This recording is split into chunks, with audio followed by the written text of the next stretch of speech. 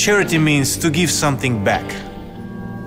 And usually, you shake hands on the red carpet, you say something. But today was a little different.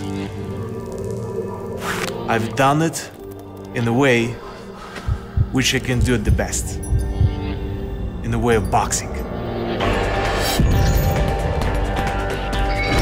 Over 250 million children around the world have no chance to get education. All the letters I've done in blue because blue is the ink for writing. Children have future only if they have education. So today we're trying to make it happen. Help me to fight illiteracy among children by bidding for one of these 26 letters of the alphabet.